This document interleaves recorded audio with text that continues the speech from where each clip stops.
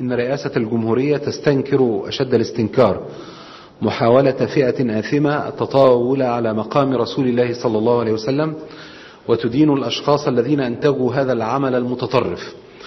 والشعب المصري بمسلميه ومسيحييه قد رفض هذا التطاول على المقدسات. كما تؤكد رئاسة الجمهورية أن الدولة المصرية مسؤولة عن حماية الممتلكات الخاصة والعامة وكذلك البعثات الدبلوماسية ومقرات السفارات للدول المختلفة. وتؤكد رئاسة الجمهورية على احترامها وحمايتها لحق التعبير وحق التظاهر السلمي في حدود القانون وأنها ستتصدى بكل حزم لأي محاولة غير مسؤولة للخروج على القانون.